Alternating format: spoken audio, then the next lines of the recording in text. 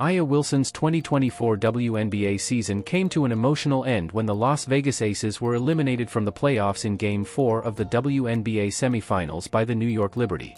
Although they fell just short of a third straight finals appearance, the league MVP took a moment to express her gratitude to the fans who supported the team throughout the season. After the game, Wilson walked off the court to applause from the Las Vegas crowd, acknowledging them with a wave and a heartfelt message of thanks.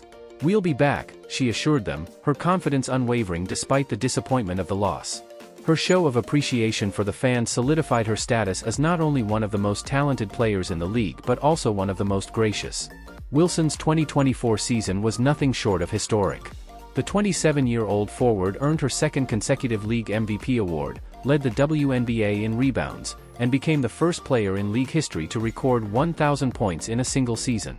She also picked up several individual accolades, including All-WNBA First Team honors, a WNBA All-Star selection, and a gold medal from the Tokyo Olympics. Fans and analysts alike praised her leadership and dedication throughout a grueling season. Despite injuries to key players and the added strain of Olympic play, Wilson and fellow star Kelsey Plum carried the Aces on their backs, leading them deep into the playoffs. On social media, fans poured out their admiration, with one user declaring her the best player in the world and others praising her resilience and class.